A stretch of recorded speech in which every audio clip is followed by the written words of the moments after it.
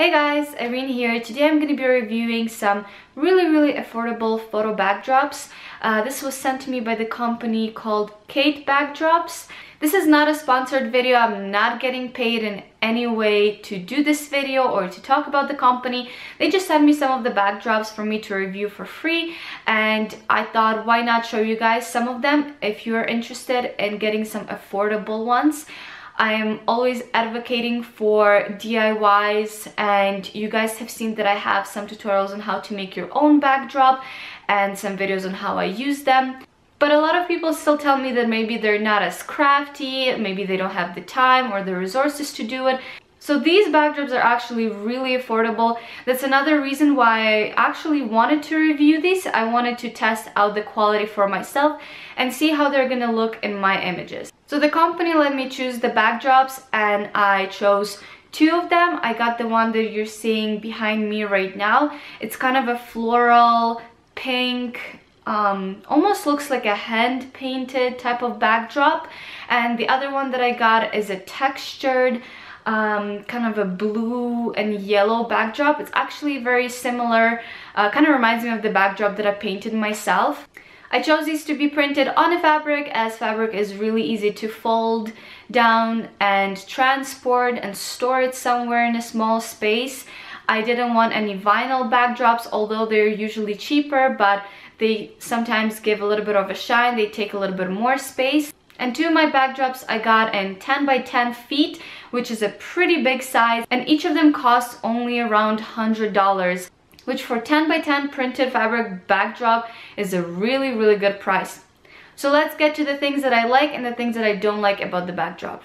So what I like about it is that it's big, it's cheap, it's fabric, the print looks exactly the same as the image, I love the colors, they shipped really, really fast. This came to me in about seven days, in about a week. And I already photographed some images using these backdrops they look great. They look just the same as my DIY backdrops or any other backdrop that I've used doing photography. By the way, the behind the scenes to the photo shoot using these backgrounds will be in the description down below. Now the things that I don't like. When I first opened the packaging, I was really surprised by just the fabric itself that this backdrop was printed on.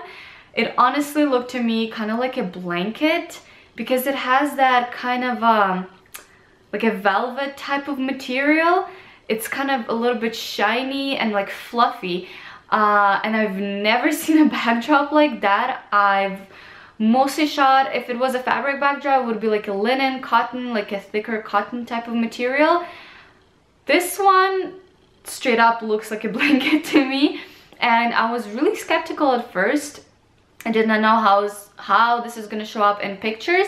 But what I realized that with this kind of fabric, it, it actually didn't wrinkle much because it was folded quite a lot in the packaging, but you cannot really see any of the folds really. Uh, so this material is really good for folding. You don't really have to steam it. So yeah, at first I was really weirded out because I've never seen a fabric like that but it turns out that it actually looks pretty good in images and I don't see any difference really to any other different backdrops that I was using before. Another negative thing is that it didn't have a loop at the very top to go through the barrel of the backdrop stand.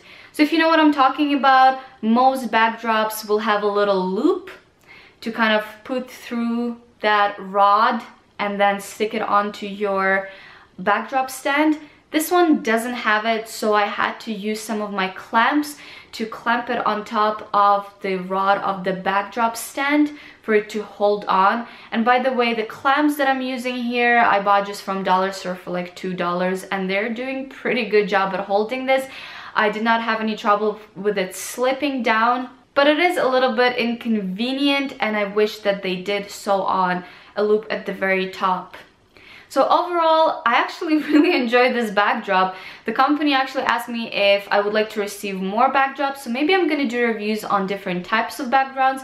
Maybe I will review a vinyl one. Let me guys know if you would like to see that in the next video and I'll talk to the company. I think this is great for those who cannot afford hand-painted backdrops that cost 500 to $1,000. I'm one of those people. I do not want to spend that much money. That's why I would DIY them myself. But honestly, this costs $100. It's really not a bad price at all for 10 by 10 feet. That's a really big backdrop. So I hope you guys enjoyed this video. Give it a like, subscribe to my channel, and I'll see you guys in my next video. Bye! You can probably play a drinking game and just take a shot every time I said the word backdrop.